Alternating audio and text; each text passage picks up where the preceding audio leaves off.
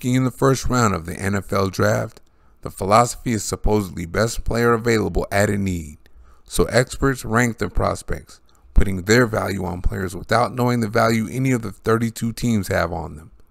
Let's keep in mind best player is a projection too. A lot of college superstars end up being busts in the NFL because they lack the right traits or go to a team where their traits don't fit what the team does. Some even end up on teams that don't have the coaching that can develop them into great players. So these teams better have a plan to develop what these players have to help the team. They have three years to show if they can get what they need out of the player. Head coach Jon Gruden made a great first round pick in his return to the NFL in 2018. Left tackle Kolton Miller, despite being called a reach by the media, is what the draft is all about for the Raiders. He has all the traits for offensive line coach Tom Cable to develop into what he's becoming. Miller started his rookie season very well, giving up only one sack in his first four games.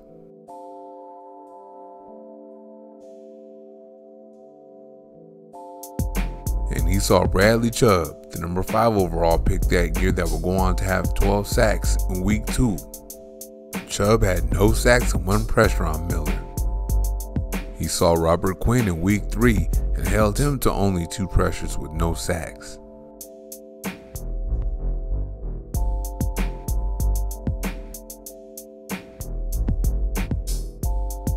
And in week 4 he saw second year star Myles Garrett.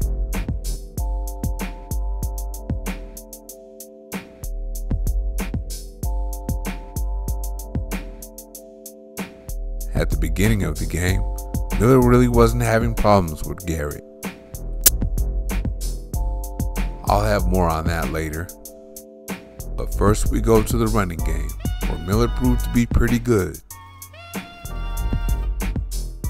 I wouldn't call him a road grader, but you can depend on him at the point of attack.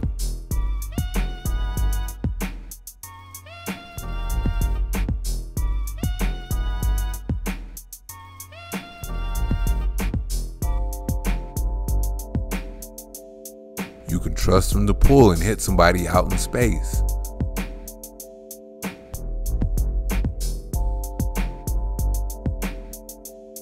And when he wants to be, he can be a people mover.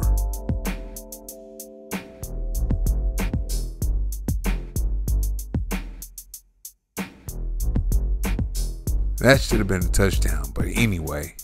In that fourth game of the season against Garrett and the Browns, he would injure his knee and not be the same the rest of the season. So he gave up a sack to Garrett late in that game. And the top flight edge rushers just kept coming, like Melvin Ingram the next week. He gave up a sack to him and everyone else that lined up over him.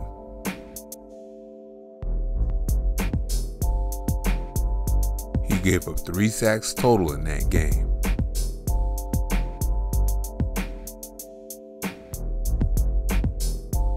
Then the next week, Frank Clark got three sacks on him, beating him with speed.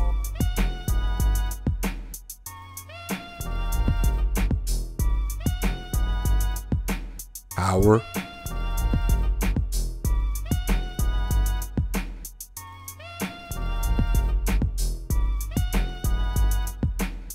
And an inside counter move. Miller made Clark look like a superstar that day.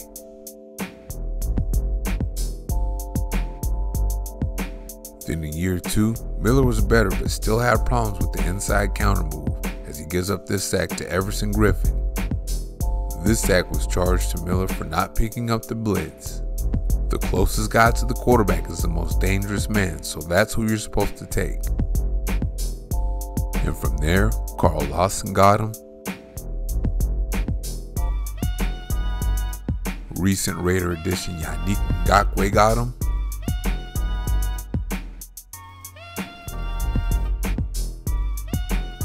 Got him again in 2019.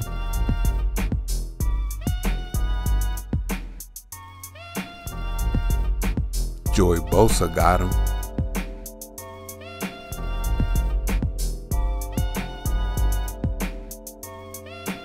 And who? Jeremiah Attaochu got him.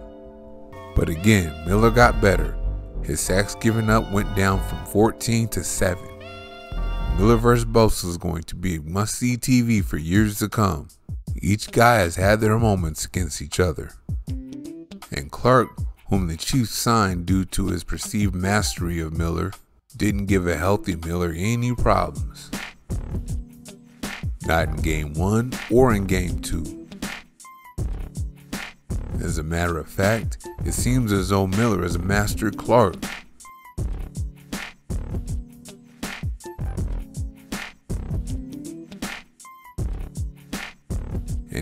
and you not to have any problems with Chubb.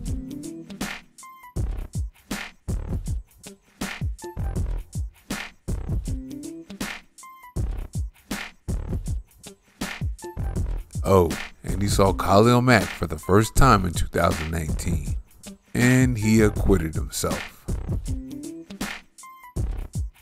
And while I still wouldn't call him a road grader, you can still depend on him at the point of attack in the running game. He can move people. And if he's double teaming, his man will definitely be moved.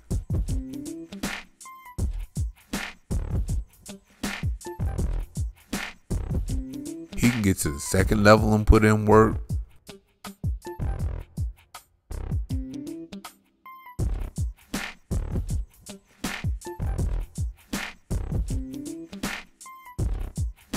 He's a good bet to get his man in open space when he pulls.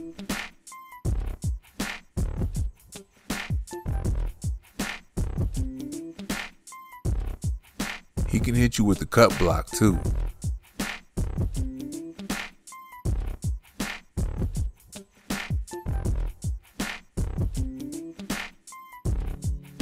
Now we're on to year three, where he had just a couple of hiccups.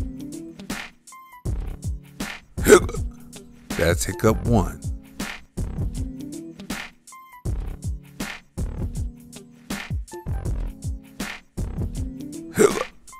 That's hiccup two. And that's it. He faced all kinds of edge rushers and only gave up two sacks. That's Brian Burns of the Carolina Panthers, tied for number 14 in sacks.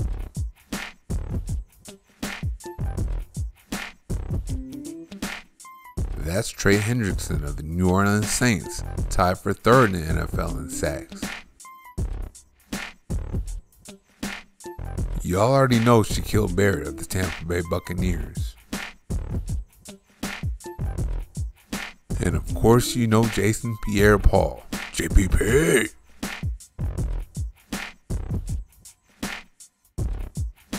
And while he fell asleep against a no name in this game, he didn't give anything up to Garrett.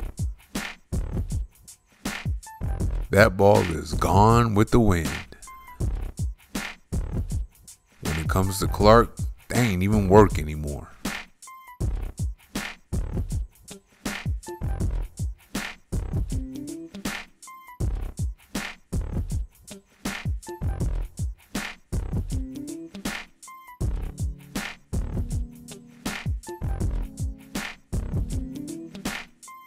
Justin Houston gave him problems as a rookie, but now, uh uh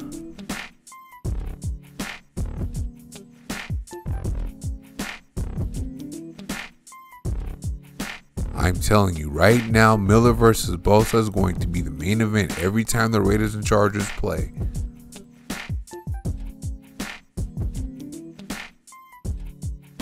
Oh, and as a run blocker, still not a road grader, but still dependable at the point of attack.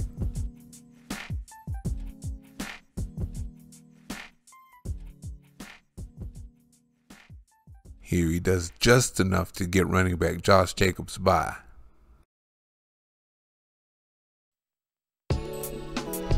And here's a nice position block to get him outside.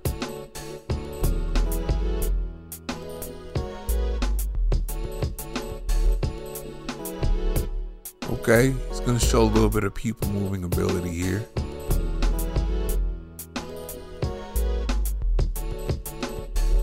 He makes it to the second level here.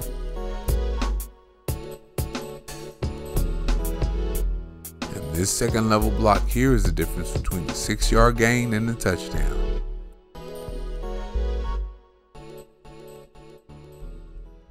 Miller was drafted by the Raiders at number 15 overall and literally fell on his butt as a rookie. Many called him a bust, but probably didn't realize he was playing on a knee that he shouldn't have been playing on. Frank Clark especially ate his lunch, which is why the Kansas City Chiefs signed him that offseason as a free agent. Miller then healed up and got back in the lab to work on his game with Cable, and the improvement was evident as Miller cut his sacks in half from 14 to 7. By year 3, Miller has mastered Clark and the rest of the NFL, only giving up two sacks. What a pick he has become for Gruden's Raiders. Thank you for watching. See you next time.